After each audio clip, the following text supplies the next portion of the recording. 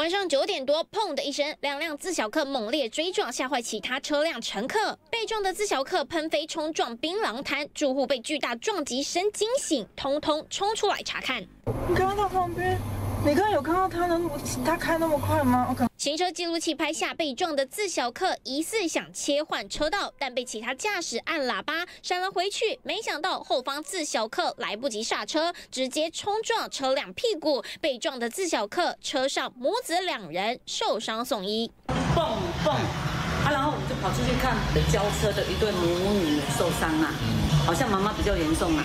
被撞的妇人躺在地上，表情痛苦。救护人员将她搀扶送医。妇人儿子疑似受到惊吓，走路不稳，但所幸两个人都没有大碍。警方到场调查，肇事的两辆自小客驾驶都没有酒驾。所幸该车驾驶人呃仅轻微擦伤。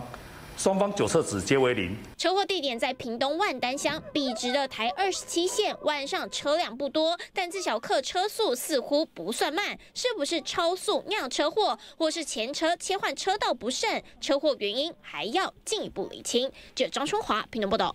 在这边呢，告诉来大家，旺旺水神维生性电解次氯酸水跟病毒细菌作用还原成水，温和不刺激，比酒精跟漂白水都更加的环保。要跟病毒共存，必须要长期抗战。